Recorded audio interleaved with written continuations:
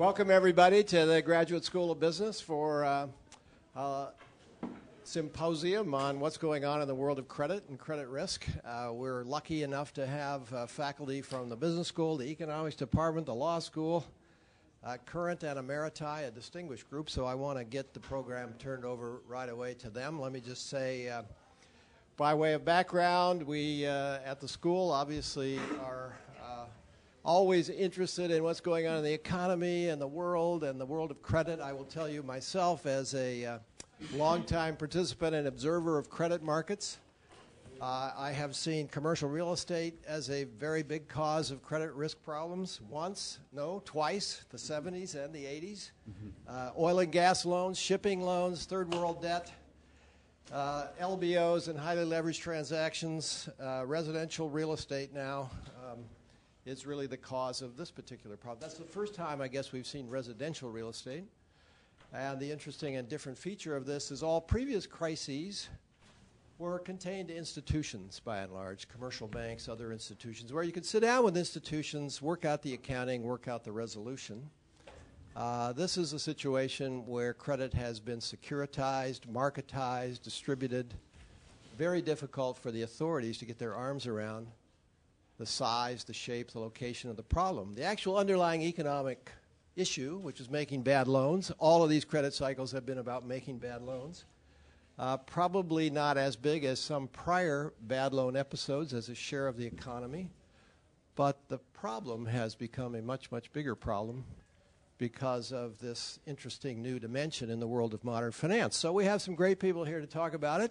I'm going to turn the floor over to Darrell Duffie who's going to explain the rules, introduce the speakers, and we will go from there with some presentations, and we will be an hour at least allocated to this, and I thank you for coming. Darrell? Thanks, Bob. Thanks for coming. Uh, you can see why we need a new campus. This room is too small. um, so, as you know, this afternoon uh, it's reported, although it remains to be seen, uh, what happens. It's be- been reported that uh, Congress and the administration have agreed on the framework for a $700 billion purchase of uh, distressed assets from financial institutions with restrictions on CEO pay and some method by which uh, the institutions take part in this program will give something back to the federal government. However, that's a very uh, broad framework, and we thought that you might not, uh, want to know more about what brought this on, um, the uh, likely uh, design or alternative designs for this bailout, there are advantages, disadvantages, uh, the likely effectiveness of this, most importantly, the cost to the taxpayer and the benefit to the economy later on. So, uh, Bob and Peter and I decided on very short notice to have a very impromptu uh, panel session, uh, giving uh, all of us, including the panel, the chance to learn from each other uh, what, we are, what, we're all thinking. So, we have Peter DeMarzo from, as you know, from our finance group, Monika Piazzesi, uh, from the economics department. Monika heads the asset pricing program of the National Bureau of Economic Research. Jonathan Berk, who's just joined our uh, finance group from Berkeley. Professor Jim Van Horne, who never needs, needs an introduction at Stanford. Mm-hmm. Ken Singleton, also in our finance group. And Professor Joe Grundfest from the Stanford Law School. And uh, the, the, format is we'll each take, uh, our panelists will each take three minutes of prepared remarks. If you can, try to hold your, your questions because we're going to have a generous period at the end for question and discussion. And uh, Peter will uh, tee this up, put it in context, and then pass the microphone to each of our other panelists. Hi, thanks, uh, Darrell. Thanks, everyone, for being here. And um, I'm going to really just give some introduction and then move it along to our panelists who will um, give their uh, remarks before we move to question and answer. But I just wanted to say that you know, in the past year, and in particular in the past two weeks, we've really seen uh, some of the most dramatic events in financial market history uh, unfolding and certainly reshaping um, Wall Street and markets. We've seen uh, the bailout and sale of Bear Stearns, and then following from that, the nationalization of Fannie Mae and Freddie Mac, the bankruptcy of Lehman Brothers, the rescue of AIG, um, the, uh, the sale or conversion of the remaining investment banks on Wall Street, and as many have reported, sort of the end of the Wall Street model, uh, per se, in terms of investment banking. Um, we've also experienced um, some previously unthinkable financial market dislocations. Um, in the last couple of weeks. We've seen uh, the collapse, essentially, of short term credit markets um, in uh, a variety of settings. We've seen zero and for uh, a few hours negative uh, interest rates on treasuries. So, negative interest rates meaning uh, investors paying the government to keep their money safe because they're not sure where else to put it. Um, so, um, really pretty dramatic stuff. And uh, it feels uh, for many, like you know, we're we're looking into the abyss, perhaps, um, and certainly this is um, quite quite a financial crisis that we're experiencing. However, it's not the first, and um, unfortunately, probably won't be the last financial crisis. So I thought it'd be useful to begin with some perspective uh, on that, and Jim Van Horne uh, will give us some. Thank you, Peter. during the last 200 years, there have been 16 credit crises. Uh, they were all preceded by periods of speculative excesses, and while each was somewhat different in the type of excess, speculative excess, they were all marked by this common theme, speculative excess. On average, it took two, a little over two years to purge the system of these speculative excesses and get back really to a solid financial footing. We are now in the first year of this purge. And the lessons of the past were not long remembered. Um, as the next economic expansion occurred, uh, market participants uh, deluded themselves with this, that somehow this time was different. And that preceded all of these, uh, or rather succeeded all of these speculative excesses of the past. And I include the government that deluded itself as well uh, along the line. Each credit crisis tended to be followed by a peak in bankruptcy filings and sometimes by a collapse in commodity prices. 2008 is not the most severe credit crisis that we've had. It's not the mildest by any stretch. Probably it's the most severe in the post World War II period, with the possible exception of uh, 1974 and 75. However, government intervention in the market is the greatest since the 1930s. That seems clear to me. So that's just a brief historical perspective. With respect to the present bailout, I'll just list two concerns uh, and my time then will be up. First, um, one of the most troubling aspects to the bailout, in my judgment, is the lack of a precise pricing mechanism. The Treasury purposely has talked about reverse uh, auctions, but has not specified uh, what will be involved and is asking for more or less blanket authority. Secondly, the underlying problem to a certain extent is housing prices. Until they stabilize, and I expect that will not be the case until at least 2000, uh, late 2009 or 10, uh, we will have further shoes to fall and further write offs. So my two minutes are up, or three minutes are up. Peter, I'll pass it back to you. Thanks a lot, uh, Jim. I just want to say, especially uh, coming on the heels of uh, Jim Van Horne, that um, you know, while the institutions of finance are being reshaped, I think the principles uh, certainly are not. And if we think about kind of the things leading up to this crisis, it, it almost reads like a syllabus from one of Jim's uh, corporate finance courses in terms of, you know, beginning with sort of agency problems and incentive misalignment on the part of mortgage issuers who, uh, as we know, didn't have incentives uh, to worry about the, the quality of the uh, of the loans that they were issuing. Um, and then leverage on Wall Street amplifying that shock because of the high leverage of the investment banks. You know, over 20 times leverage, uh, not being unusual for many of these banks. And, you know, with that kind of leverage, a 5% shock to the value of assets can wipe out your equity pretty quickly. Um, and then finally, as we know, when a firm has too much leverage, investment banks being no different, once they're over levered, uh, financial distress costs become important. We have problems of underinvestment and inability to, for them to invest in the market, and we see uh, markets collapsing. So, a lot of the, the, the themes uh, that we know, sort of more generally from corporate finance, playing out in this case uh, in the financial sector through this, and uh, leading to the drying up of capital uh, in these markets and, and sort of this dysfunction that we've talked about of uh, inability because of inability to invest by many of the participants in these markets. Um, but one sort of question is what, you know, is this, how different is this if this were affecting another industry? Many have argued that if we're another industry, the government wouldn't be intervening in the ways that it's proposing now. Uh, the fact that it's the financial sector, we're seeing a greater call potentially for government intervention. And the question is, you know, is this different? Uh, what is the effect on the rest of the economy of uh, this financial crisis, or what, what, what might we expect from that? And to give us some perspective on that, I was going to pass to uh, Monika. Thanks. I wanted to talk about economic consequences of the of the crisis, since uh, the goal of the bailout would be to avoid those bad economic consequences like job losses. And so the the idea is that. Uh, because of the crisis, we would see lower economic activity, lower growth in the form of a regular recession, or maybe even worse, longer periods of low economic growth. And so macroeconomists disagree on the importance of a financial sector. Most macroeconomists, the vast majority of macroeconomists, works with models where the financial sector is just like any other sector. Uh, so the idea is that business cycles are caused by real shocks, uh, oil price shocks, and they affect sectors, and they all co-move down in a recession. And so there's no need for the government to intervene in any, uh, to bail out any of these sectors. Take, uh, let's say, the 1970s in response to the oil price shock. You, see, you saw that car makers were doing poorly, much uh, worse than other sectors, but there was no sense in which the government should have intervened to bail out car makers uh, during the 70s.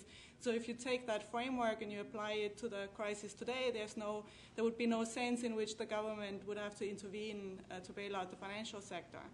Um, there's only a small, small group of macroeconomists who think uh, that the financial sector is special and have been importing ideas from corporate finance, in fact, to standard models of macro. And uh, this group includes Ben Bernanke, so we know that one person who's uh, the, in charge of the Fed right now thinks that the financial sector is important and is special. And these models, uh, basically, they have a role for net worth of the financial sector. That net worth is fluctuating over the business cycle. And as banks do poorly in recessions, they lend less, and so firms and consumers can borrow less, and that just slows down economic activity. And so this is the, the famous financial accelerator uh, by Ben Bernanke, this idea that banks over the business cycle make things worse and so amplify the cycle. And so the key question is, uh, in which world are we? Are we in the world where the financial sector, we should think of the financial sector as being special or not? And the, this debate is far from being resolved. Uh, one reason is that in the normal recession, you see all sectors move down together, and so you, it's very difficult disentang- to disentangle a special role for the financial sector. Um, and so the, the question is, how do we do this? One, one way to go is to look at financial crisis in isolation, and maybe the current financial crisis is going to give us another data point to study and to figure out what the economic consequences are. But in general, what's missing, and I think what's missing uh, importantly from this, this current discussion about the bailout, is the magnitude of the real consequences, since that's going to then give us guidance on how much money we should actually spend on the bailout. Uh, unless we know what the magnitude of those economic consequences are, we, we can't really determine that number. The other uh, thing is that we need to figure out in which world we are because we need to determine how to treat financial firms. If they are special and we want to bail them out, then they should be regulated. Then deregulation in the 1980s was probably a bad idea, and we should regulate them more. Uh, and if these firms expect to get uh, to share their losses with the taxpayer, there should be insurance premia that these firms pay to get the insurance. And ideally, this insurance pre- these premia should depend on the amount of risk that these companies are taking. Uh, so it's really uh, it's difficult to sort out where we are, but it's important because the whole uh, discussion of policy consequences changes drastically as, uh, depending on whether you think that the financial sector is important or not. Uh, thanks, Monika. And yes, it certainly seems that the Federal Reserve and the Treasury are convinced that that this is a big problem and that we need to spend a large amount of resources to basically restore confidence and, and, and stop stop the bleeding in the markets. And uh, as you say, we'll have uh, more data after this uh, event, uh, like it or not. Um, so let me turn it over to Darrell to or Ken to to pick up from here. Yeah. Okay. I'm going to say a few words uh, about how I would characterize the current, the nature of the current crisis, and uh, and a little bit about the proposals on the table to, to address it. Um, and in, in the Q&A, I'll be happy to talk a lot more about how we got here. Uh, I think this started, we've heard a lot about credit. I think this started as a, as a, as a credit problem uh, related to misratings of, of a lot of structured products and, and a lack of, of, of full understanding of the nature of the inherent uh, risks uh, in, the, uh, in the underlyings that went into a lot of these structured products. But I think it's very much evolved into uh, a liquidity crisis, something we, a word we haven't heard yet too much today, a type of funding liquidity crisis where uh, it's very difficult for a lot of institutions to get funding and people are very nervous and reluctant uh, to commit capital. Uh, at the heart of this, I think, is the, the weak capital position of the financial sector, banks in particular, and this is, uh, uh, there's real reason to question the solvency of many of the financial institutions out there. This has brought to a virtual halt interbank lending. It's the, uh, it, it, underpins the problems with regard to the, uh, the money market funds and, and their ability to, uh, uh, to hold funds and also their willingness to, to fund in, in, in the, in, the bank, in the bank sector. So I think the, the, first step one has to think about in, in getting out of, this uh, liquidity and credit crisis is, is how do we recapitalize the banking sector and at what level do we need to recapitalize it to um, undo this freeze as, it's come to be called in markets, that is, to, uh, to bring about uh, greater funding liquidity in the system. Now, of course, one reason the capital is low is because of the large losses on a lot of mortgage and related products and structured products. So uh, what's on the table to, to address these issues? Well, the Treasury, in, in, in its modified, even in its modified form, basically is seems like a rather indirect way of, of, of recapitalizing the banking system. Basically, if you mark to to fire sale prices the the assets that are on the balance sheets now, a large portion of the financial sector is insolvent. So the proposal on the table is essentially to buy at a higher price and I'm actually not quite so concerned about whether we're making a fair price for that. I think the real question is how much do we want to pay above the, uh, the, whole, the fire sale prices to inject capital into the system, and, and, and, and, and how are we going to do that? How much are we going to pay? And obviously, the more we pay, the more capital we're putting in, but we're doing it in a rather indirect and inefficient way. Surely there's a more direct way to recognize the problem and, and possibly uh, address it. Uh, and one of the things that the discussion we haven't seen too much discussion of is, is whether or not the mechanisms that are in play will bring about a recapitalization that gets us anywhere close to where we need to be in order to unfreeze markets now, but also over the longer intermediate term, particularly as we're going into probably a weakening economy, a recession, if not something, if not something worse. Some of the other proposals that are on the table are essentially trying to get at the same question, but in, in a rather indirect way. We could, of course, just invest directly in the banking sector, and we're asking for equity back uh, in return for essentially paying for uh, uh, the liquidity premium, the liquidity discount in the market, is essentially Bernanke's argument. Uh, I think it would make no sense to, to give away uh, that liquidity discount on the part of American taxpayers, so getting some equity in return certainly seems, seems appropriate. There are other possibilities on the table. Um, uh, one of them is to, to change the value of the toxic assets themselves. The conservative Republicans have a proposal that they're floating this afternoon that is essentially an insurance policy that I interpret as designed to raise the value of the toxic assets effectively on the balance sheets of these institutions without having to buy them off the books and therefore effectively raise capital. Uh, one could think about loan like recapitalizations of these institutions as well, but the current system seems quite indirect. Um, Ken has alluded to the design of this bailout. So, just to um, frame the discussion again in context, we've had a lot of discussion both here and uh, you've heard a lot about what got us to where we are, what are the implications to the macroeconomy, and so on. But now, in these next few days and weeks, the Treasury and the Fed uh, and Congress and the administration in general will work out what the 700 billion um, purchase plan will look like. Ken was alluding to some of the problems um, uh, with various design alternatives. And uh, just to make uh, even more stark this situation, the taxpayers and mem- some members of Congress don't want to give away any wealth to the financial institutions that take part in this. On the other hand, the financial institutions have already voted not to write down these distressed assets because if they do, they will be seen to have less capital than they're supposed to have. And that e- either they will be insolvent or they will lose the confidence of investors, and that will be it for them. So, some of the proposals in this design that would extract full market value uh, for these, uh, you know, the market value of these assets would cause these financial institutions essentially to write them down by selling them.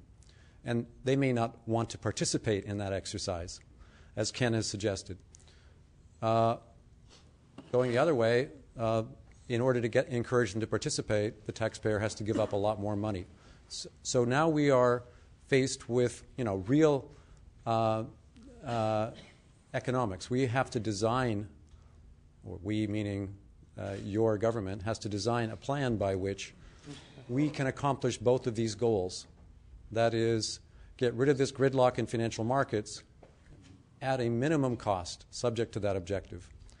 And based on uh, what Peter and I have heard that Jonathan and Joe Grundfest are going to talk about, we may hear some more specifics from them about um, better and worse ways to do this. If I could follow up briefly and then um, uh, say a couple things uh, on top of uh, Darrell's point, which is that, you know, the whole term market value is a little bit tricky these days because the argument is that the fire sale prices that we're seeing don't truly reflect the market value of many of these assets and that their true fundament, fundamental value is higher. And so, you know, there's, in, in that sense, there may be some room to ease the burden without great taxpayer expense. Um, going on top of what fundamental value is would then obviously provide even more capital to banks, but then starts to uh, create taxpayer expense on top of that. But some of the debate seems to be about, you know, the 700 billion that's being used shouldn't be viewed directly as a cost to taxpayers because the government's going to get assets in return for the about 700 billion. But the whole question is, what are those assets going to be worth?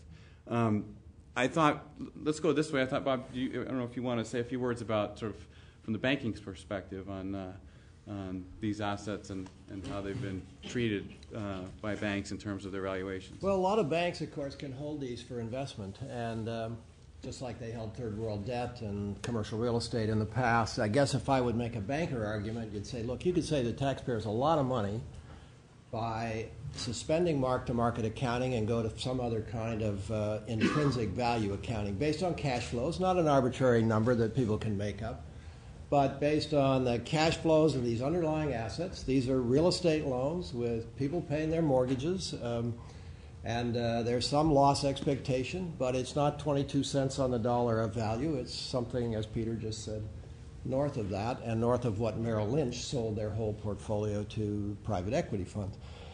Uh, suspend market mark-to-market accounting. Let people value them just like they valued other loans in times of stress. Um, probably get rid of the uh, get bring back the uptick rule and and and get rid of some of the short selling uh, that's possible because what's happening now is people are marking to these fire sale values then they need capital. Their stock is crashing. They can't raise capital. So you just get a vicious downward cycle. So the bankers would argue if you could suspend this mark to market accounting, go to some other kind of intrinsic value accounting, deal with the short selling abuses, and probably for the moment suspend the application of Basel II, this capital requirement, so you don't just keep driving banks into the system you, why spend the 700 billion? You could do a lot of this by uh, first doing that, and then uh, save your your firepower or your dry powder of the taxpayers and the Treasury when we see just exactly where the institutional problems are. I think that's a very quick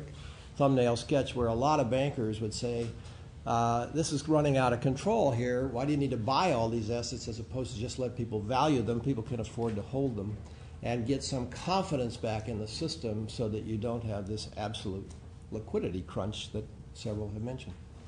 It might be that we don't need a bailout. I think the problem, it's not clear we'll ever, we could ever find out because the specter of the Great Depression is such an unpleasant event that I think most people's view is we don't want to find out if we don't need this bailout. We'd rather just do the bailout and not, and not, and not, and not suffer the Great Depression. So if we're going to do the bailout, it seems to me there are three characteristics any bailout has to, has to satisfy. One is it has to, it has to stabilize markets.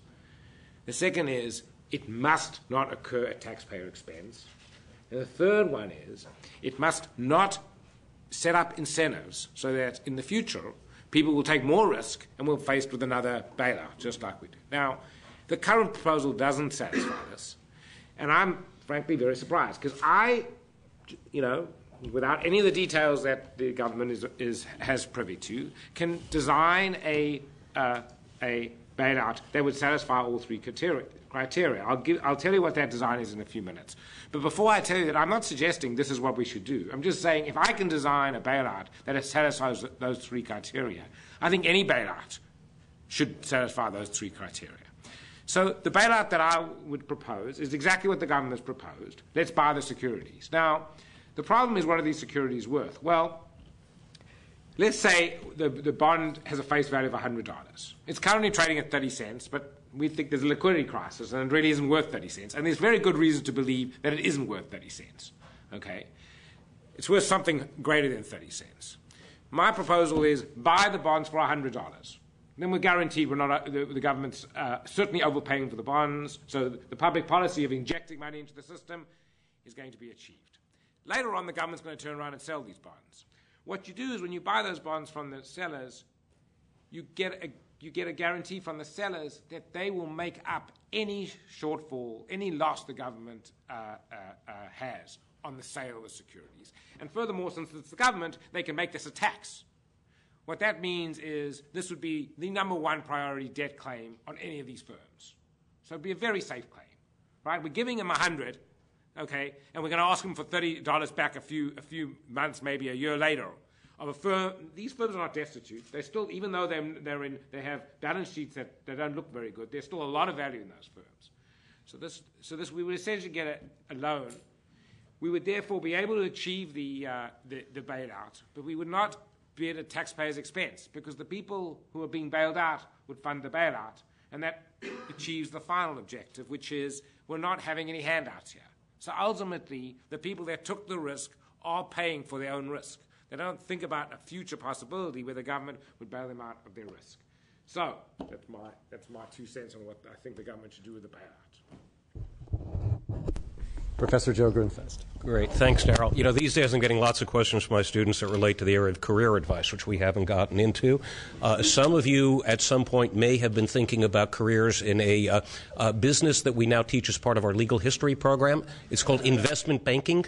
Okay. It used to be a fairly lucrative uh, business, and we're suggesting that our students consider careers in, in uh, for example, things like community organizing um, and, and life as a hockey mom. Although I must, as I look around the room, hockey mom is a more credible alternative for some of the people in this room than for others, and you know who you are. Um, let, me, let me take what I call the cocktail party approach, since I've got about two minutes. Let me take one minute to explain how we got into this mess in a way that has absolutely nothing to do with the financial sector and suggests we're in for a world of hurt, separate and apart from any of the factors that we've been talking about. And then another minute on what might be a better way to get out of this process? And I think it's, it's fairly to say that there's a great deal of skepticism in the room about the plan currently on the table being discussed in Washington. So, okay, 60 seconds on how we got into this mess. Very simply. Look, for a variety of reasons, it seemed like a good idea at the time to keep interest rates relatively low. And it's very easy in hindsight to say we kept them lower than they should be, and that generated a massive, not, not, not large, massive asset bubble in residential real estate in the United States. The mark to market value of residential real estate at the peak in the U.S. was approximately $25 trillion.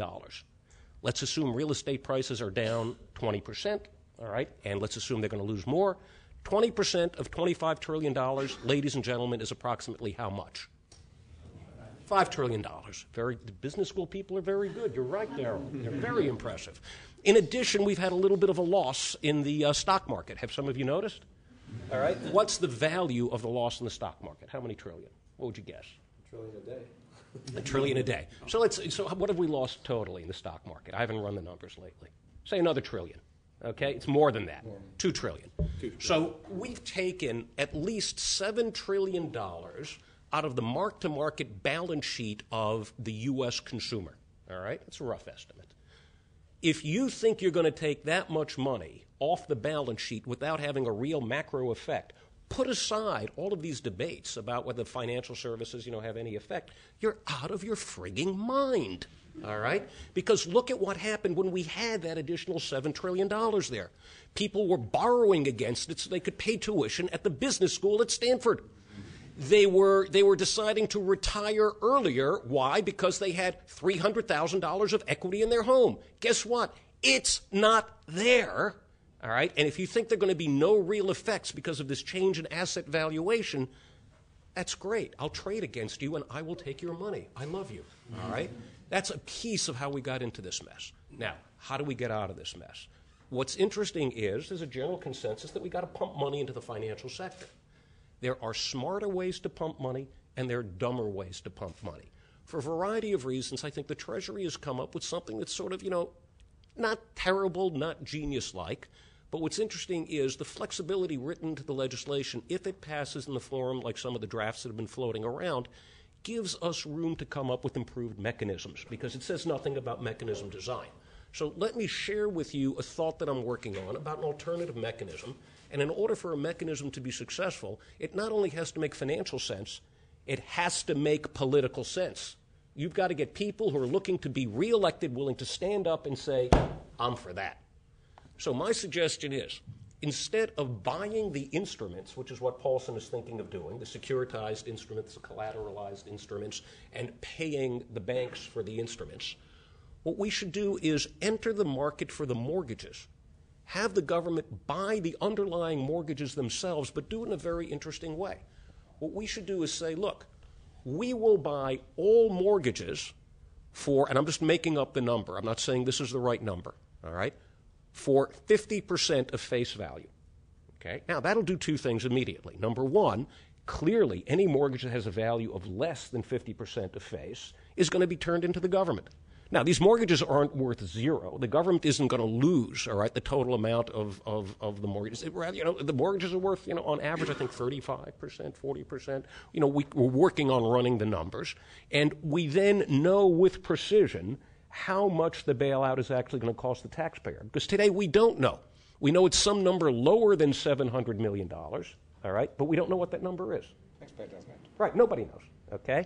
But on the other hand, if what you do is agree to buy back the mortgages at 50% of face, you know exactly what it is. The other thing is, if you think about how that works in terms of FAS 157 and level 3 accounting, in effect, the government is agreeing to write a put option. When you run the models, you reduce the value of these portfolios when you've got a fat tail.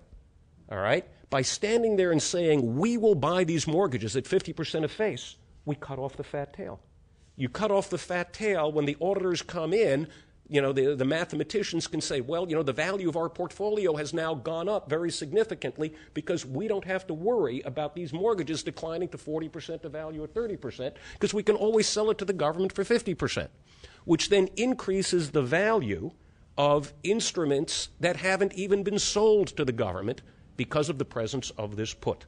Okay? Now, there are all sorts of other, and politically, much more appealing to a representative or a senator to say, look, I vote for a system that puts the mortgage in the hands of the federal government where we can have FDIC type programs where we know we can renegotiate, let people stay in their homes. The FDIC typically takes 38% of income, all right? We don't have to worry about about foreclosures. Uh, we can renegotiate the length of the loans. We can renegotiate the interest payments. And that way, we're not throwing my constituents out on the street, all right, while the government controls the terms of the renegotiation on the paper. That's it. Question for uh, Professor Grundfest. Uh, last year um, at the law school, you predicted that it was going to get worse before it was going to get better. And in fact, you predicted that um, early January already. And my question is now, we are at that brink where it's very bad. I'd like to know, is it going to get more worse before it's going to get better? Well, yeah. I mean, it's. Thank you very much. Uh, it's it's nice to have all my good predictions remembered, and all the bad ones buried. I appreciate that. Um, uh, yeah, it's going to get worse. All right, and and you know I'm on tape and it's running, and if I'm wrong, you know you can stand up in a year and say, Professor Grundfest, I can't believe I pay tuition. You told me a lie. Um, no, my bet is it's going to get worse, and it gets worse for a wide variety of reasons, including the fact is we haven't found the bottom uh, for the real estate market. Nobody really knows where that bottom is. That generates a lot of uncertainty, which then feeds through to asset pricing. All right, in these models. So I, I think one of the things you want to do is chop off that fat tail and figure out some way that you can give the market comfort with regard to the protection of values uh, in terms of, of what these institutions are worth. So I have a three-pronged question, which is always a bit risky, but I'm trying to make it work. Um, one, it seems like in the U.S. we get into these cycles of greed whereby, you know, whether it's Drexel Burnham and the junk bond collapse, NASDAQ, and uh, the tech sector, or now with this mortgage thing, you know, don't bailouts just perpetuate a general cycle of greed? And isn't it just, are we going to just create another one that seven years from now we're going to do the same thing? Um, so I want to answer to that. Also, I think that uh, the uh, I think that finance gets treated specially because it operates under like a Chicken Little syndrome because financial crises happen very fast. Whether it's LTCM or this one, they happen in six months. If someone in 1978 told you in 30 years we're going to lose 80% of our textile and steel production and three and a half million jobs, that would have been a crisis, right? But because it happens over 30 years, we just ignore that sector. Finance happens quick, so we have this sort of big tendency to go for it. And the last one is I read a very interesting book by Nassim Taleb called Black Swan and everyone is so quick. I went to a lunch hosted by Lawrence Bernstein two days ago. They're so quick to say, guys, look at history. We've seen this before. We've seen this before. When is this a black swan? When is this different? And overall, in terms of America's future health, I'm going to use a Roman analogy. I was a history major in college. I apologize. Is this Hannibal in Gaul or the Germanic tribes at the gate? I mean, so that's sort of the bottom line from me. Okay, we can split this into three parts quickly. First one is on moral hazard if we do this, are we going to encourage more of it? Anybody want to treat that one? I think that's kind of a given. It, it, well, if you don't have a, the only way to stop the moral hazard is make sure that the, gov- the government doesn't subsidise the bailout. So if the government doesn't subsidise the bailout, then there's no moral hazard. But, but I, I, I would submit very briefly: the government is in the business of generating moral hazard, because if if you can't give a subsidy to your constituents and the cheapest form of subsidy is one that doesn't show up on the accounting books of the government, which is one way or another of, of underpriced insurance. All right? Uh, and if you have a look at the history of the United States government, it's in the business of generating moral hazard because it's politically profitable for our politicians to do that you know, whether, whether it's people building homes uh, uh, in the path of hurricanes or, or, dare I say, linear accelerators that run right over the San Andreas Fault. I don't know any university that's done that. Uh, you know, it, it's everywhere. The second part of his question has to do, I think, with uh, one of the points that Monika was making about what's special about the financial sector that, that makes it different from any other sector in, in the way that these crises uh, should be treated. And Monika, you, you've already made some remarks. Do you want to follow up on that question, or? Um, not re- in terms of people moving. Uh, was that the question about uh, the financial sector losing jobs and comparing that to the steel industry? It happens so quickly that you know we have a tendency to react so quickly, so we get big bailouts that aren't really thought out. Whereas other sectors that have had much worse times in yeah. America, because it happens over a long period yeah. of time, we don't as a public Definitely. Go, you know, so react in the same way. So I think that sometimes finance gets special treatment for that because very quickly. And so you can make the argument that the, you know workers are adjusting and finding new jobs, and so by if you give them time, people are going to move out of the financial industry, move, get different jobs, and so that problem is going to resolve itself. The question is, does the financial sector still play a special role because it's facilitating lending, uh, borrowing lending, and that, that, if that's the case. Um, then you may want to protect those jobs and they're special. And in that case, you may want to intervene. And the question is how to do that best. But there is a sense in which, so people, Ben Bernanke, for example, has argued that the financial sector is special. And in that case, those jobs are special. Right. Well, uh, yeah, you know, I would say finance is special. The sector is not. And, you know, if you worked in the savings and loan industry in the 80s, it's gone. There's no savings and loan industry.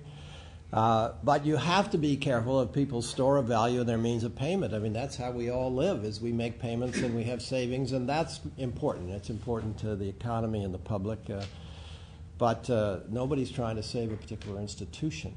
Let, let, me let me take a shot at this, the third prong of your three-part question, and let's try to keep it to one prong from now on. uh, I know Nassim Taleb, and I disagree with a lot of stuff in his book, but this idea of a black swan is obviously relevant.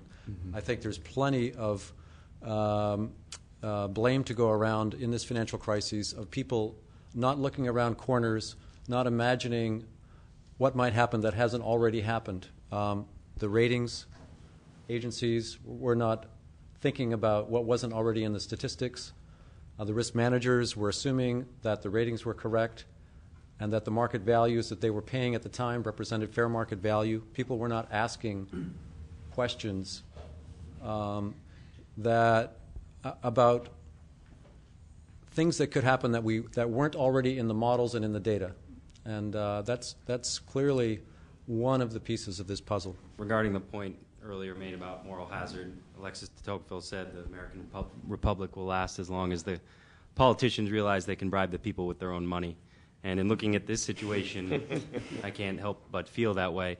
Is it reasonable to ask the question if the American public had $700 billion to spare on this bailout, that it would rush in from the private sector? Why do we need the government to be an intermediary in this situation?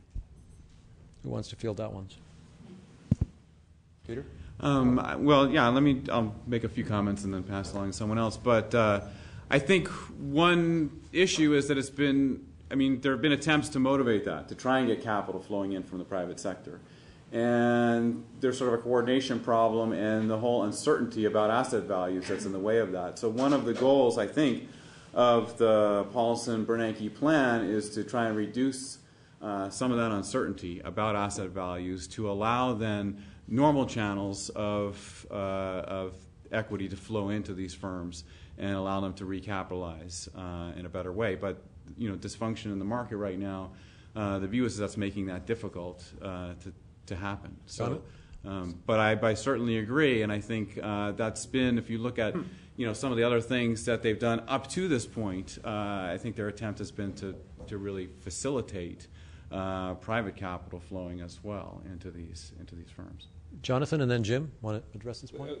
But let me just, I think it's a back of the envelope calculation I can show you to show you why there's a problem. Okay. If we look at mortgage default rates, and I to tell you that the average mortgage, we, could, we would have average default rates of 20%. That would be historically unprecedented. In the Great Depression, I think the rates were 5%. Okay. So let's pick, this, what, what, what were they? They were, uh, they were in the teens. They were in the teens, but they wouldn't be, they weren't 20, okay? 20%. and, then I, and then I say to you, let's look at the recovery rate, um, the banks on a foreclosed loan. Let's take that 50%. In other words, the housing values have halved. That's a very big number. If you multiply 20 by 50, you get 10. That means the losses the banks expect with these very high numbers on the mortgages is 10%. The mortgages are, so how can you have numbers of 30 cents on the mortgages are trading? Nobody understands why those mortgages are, are, are as panicked as they are. Jim? Now, we, we face a liquidity crisis. The government is a lender of last resort and has to come to the rescue of the financial markets. This recurring theme of uh, credit crisis after credit crisis is with us. Um, it's going to continue to occur, and in 10 years, when you're out of here, we'll have another one. I favor substantial regulation of the financial institutions of this country as the only real course that will protect the American taxpayer from having these bailouts, these periodic bailouts. You want to follow up, Ken? Just, just adding something hmm. a little anecdotal, but, but I think relevant. Um, obviously, one of the issues that will come back to be a part of your lives down the road is the incentive compensation schemes at financial institutions uh, and how that interplays with risk management and whether or not it's a self-correcting mechanism.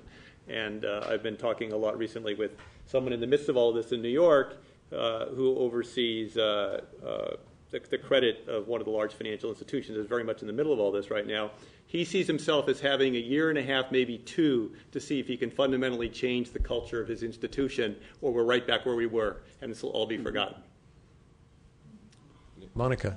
I'm also having a hard time thinking about private capital not moving in. Since if, if we're really so sure that these assets are undervalued, why is not somebody stepping in? I don't have. The, uh, if I mean, why are we sitting here and not all rushing out and buying mortgage-backed securities? I'm I, am not sure they why are. why there, that. There's a lot of private money moving in at 30 cents mm-hmm. and looking at very handsome returns. Yeah, one of the problems is this, the returns. If you can't borrow, you can't really make much of a return. So let's say you buy the mortgages for 30 cents and they're really worth 50 cents. Okay, so you've gone from 30 to 50. That's not going to be much of a return unless you can leverage it. But you can't leverage it. No, one, there's, a, there's something in the. In, Well, it depends on. hearing all these solutions really seems to target the short term versus the long term um, in terms of how people behave in the financial markets and what we need to do today to promote or incentivize people for the long term sustainability. Um, seeing that most of the national debt, 80%, was created in the 90s up to today, um, if we hypothetically had a $700 billion budget to get us out of this, has a government, or what do you guys think about a solution where the government doesn't act to bail out the financial sector, but uses it to bail out society in terms of uh, quality of life? You know what I mean? Like, if, if you really need some sort of subsidy to help you as a citizen of the state to live, use that budget to use it in that sense rather than as an incentive to keep uh, motivating bad behavior in the short term. Yeah, I'll, I'll, take a quick shot at that because that's something that was addressed by uh, Hank Paulson when he was asked the same question essentially by Congress. And he tried to make the point that it isn't really about bailing out the financial sector, it's really about improving uh, the situation for jobs and consumption by Americans. And it happens, as Monika said, that the financial sector is the valve through which liquidity to producers and consumers flows. So if we want to improve the life of Americans according to this, uh, according to this hypothesis, then we have to start um, by getting ri- by taking the making this valve unclogged and uh, getting liquidity flowing again into the general economy. Just to give you an idea, there's like 175 trillion dollars of global financial assets, right? So if there's a run on the bank, which is what's happening, and everybody wants those 175 trillion to come liquid, uh, you have huge destruction of value. Some of the numbers people talk. So 700 million on this 175 trillion dollar pool is not very much. If we can save that value destruction in some way, that's what's motivating Hank and Ben. Let me just uh, follow up one point on that. I think one of the weaknesses of the original proposal, and we'll see where it ends up, was not really distinguishing between what amount of that 700 billion would be a subsidy in some sense, and therefore a cost to the taxpayer, and what amount would be facilitating liquidity in the market and perhaps paying a fair price for assets the government would hold for a longer term and just provide liquidity in that market. Um, and so it's hard to say exactly what the price tag is at this point. And you know, the, the original proposal gave the Treasury full discretion to determine that. Obviously, that's something that you know citizens, politicians, et cetera, have a view about about if we're going to start doling out subsidies. Um, then you know there are some issues about where they get spent. But I think one of the things that would be beneficial would be some transparency around that. The full 700 billion, certainly, given that their assets are going to be purchased in, in, in their place, would not be a, a subsidy, and, and have some policy discussion about how that 700 billion gets split between those two roles. I was wondering how much you thought that the uh, this liquidity crisis might ripple internationally, and if the bailout plan should include the domestic or the U.S. arms of international banks. Great, that's an excellent question. Who wants to field it? Jim? Well, it is international, and it will quickly transmit across uh, the globalization of finance. Uh, and I think it is uh, wise to include uh, assets by foreign banks, U.S. assets by foreign banks, is my own feeling. It, it, there's no doubt that it's international. The Chinese market is off 50% from its peak. The Indian market is off 50% from its peak. Uh, the Russian market was shut for three days uh, until they were sure that prices would go back up. Uh, British real estate values are just absolutely cratering and crumbling. Things don't look good in Spain. I mean, you can go down the list. Um, you don't have to speculate whether this is going to be a problem. It is a problem, um, and and it's just that we, the United States, is the biggest and baddest and most notorious problem. Uh, there wa- in fact, there was a run on the East Asian Bank of Hong Kong uh, early this morning, um, and you know the U.S. is not interested in seeing that. Also, uh, God bless them, finance people are exceptionally good at figuring out how to deliver assets through U.S. financial institutions that were not originally there. There are lots of ways to do it. Clearly, a lot of the blame lies with the credit rating agencies and maybe their incentives to compete with each other. How do you propose fixing this in the future so this doesn't happen again? That's, I'll take Yeah, it's actually that's actually a research project that I'm working on. and I'll just tell you very quickly. Um, so many different stories about what went on, all right, with the credit rating agencies and the like. And I don't think the government knows how to write rules to force people to write intelligent credit rating agencies, do intelligent credit rating. But one common vector is that the incentives are all wrong when you have a situation where it's the people whose instruments are being rated are paying the rating agencies to do the rating. It's a little bit like the people that own the restaurants are paying the restaurant reviewers to do the reviews. Okay? It's only a question of time until you get a bad meal. All right? And we just had it. So, my proposal, and I'd love your reaction on this, is to create a new category of rating agencies, all right, that I call BOCRAs, all right? Buyer owned and controlled rating agencies. So, in other words, there are all sorts of SEC rules and regulations that require that you have rating agency, you know, uh, ratings for a variety of purposes. You've got private contracts that are ubiquitous that require rating agencies. But now what you do is you say, wait a minute. Instead of simply being a rating agency, it has to be a rating agency that's owned and controlled by the buy side of the market, the people that buy the paper. All right? Now, they will then set the incentive structures for the people that um, are actually doing the rating. They will decide, you know, on all of the fees. There will be an automatic market for these guys because government regulations now say you have to have at least one rating by a BOCRA. All right? And if it turns out that the BOCRAs do a bad job with the ratings, which is highly likely to occur because because doing a good rating is a hard thing to do, um, then the buy side has only itself to blame all right? So there we are at least as close to incentive compatibility as I can imagine, given the fundamental difficulty of satisfying the job that the rating agencies need to do. Okay, so I, I, I'm, I'm, I'm there to disagree with people. So I think it's complete, it's completely flawed, and here's why. It's not the rating agency's problem. I mean, if, what's more risky, bonds or stocks, right? Nobody rates stocks. Nobody's saying they should be rating stocks. Right, so what, what, what has it got to do with how rating agencies rate bonds? They weren't rating the stocks. The people, if you buy, these are, we're not talking about mom and pop people buying these securities. We're talking about sophisticated financial players buying these securities. They don't need to be protect, protected from anybody. We don't need any new regulations. We just have to make it clear to them that they bear the costs of their mistakes. now, it's, I think even the executives, talking about executives is misplaced because, see, the problem with trying to regulate this is you're trying to regulate the smartest people in the economy. Investment bankers are paid the most because they're very, very smart. If you come up with a regulation, they're going to be smart enough to get around that regulation. So to try to pretend that the government can out-regulate them is just, you're just dreaming. So instead, you've got to think about incentives. How do we set the incentives up? Now, the problem is compensation always works the following way. If you do well, you get, pay, you get, you get compensated. If you do badly, we can't take back the money we, we, we previously paid you. Because we cannot pay you this year, but we can't take back the money. So no matter what happens, you have to deal with that asymmetry, that option. Right. So the only way to try to make the, uh, the, the, the, the, people, the risk takers uh, uh, uh, not just go for broke because they're sitting on that option is for the organizations to monitor them, right? Because if the uh, if the risk taker increases his, the volatility of his bet because he knows he gets the upside and he doesn't have to take the, the downside, the people who take the downside are the organizations he works for. So it's very, very, very important that those organizations take a hit. Now, when Goldman Sachs was a partnership, the partners had unlimited liability. Right? So you can imagine how carefully they monitored their traders to make sure that they didn't abuse that option.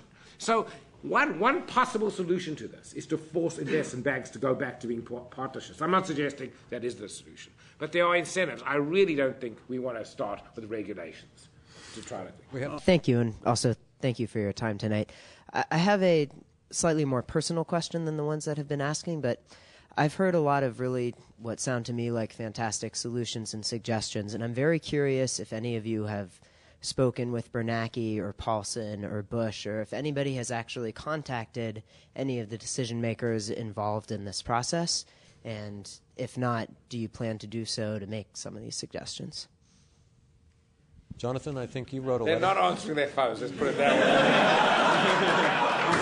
way. if you have any contacts, I'd love. I have done my best. I have sent letters because I feel incredibly strongly about this. I think we're, these people are just missing the boat here. So I have sent letters. Um, I've done whatever. I've, I should have been working on other stuff this week, and I, all I've done is work on this. I wouldn't answer. Okay, last phone question. call I'd be interested to hear um, your view on what role you think the um, derivative, the emergence and proliferation of derivatives, particularly credit default swaps, played in the buildup uh, to this mess.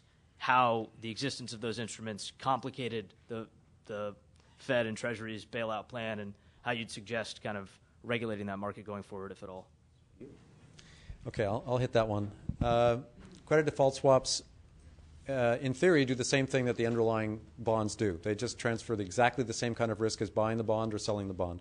But in practice, you can do it a lot easier with a derivative than with a bond, which means if you want to take a lot of risk, it's really easy to do with derivatives, and you can get into a lot of trouble very quickly, which is what a lot of financial institutions did. You can also use derivatives to build these things called collateralized debt obligations that transfer risk in a much more toxic way. So, what, these credit derivatives did was it made it a lot easier for people to get into deep trouble, um, uh, just in terms of the contracting requ- uh, required. I, in principle, if you're going to uh, improve risk management or improve the regulation of financial institutions, you shouldn't need to shut down derivatives. They actually make the markets work more efficiently because they do make it easier to transfer risk. What you need to do, however, is to pay close attention uh, to those jobs. Uh, the rating, risk management, regulation have to be done a lot more carefully when it is so easy uh, uh, to concentrate very a lot of risk in a very small toxic instrument like a credit derivative. I rather think that's another shoe that's going to fall. We have not only basic default swaps, credit default swaps, where certainly there is uh, settlement risk, but we have derivatives written against those credit default swaps and derivatives written against derivatives, written against derivatives against basic credit default swaps. Uh, where the daisy chain ends, nobody knows.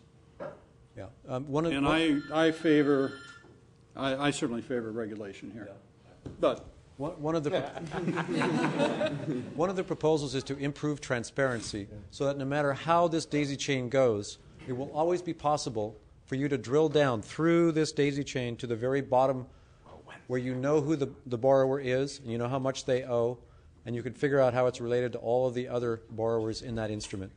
We didn't have that transparency, and I'm pretty confident next time they'll try to put it in there. I'm uh, I'm not ex- uh, as uh, pessimistic about the use of derivatives as Jim, but I do think they need to be controlled more, more carefully.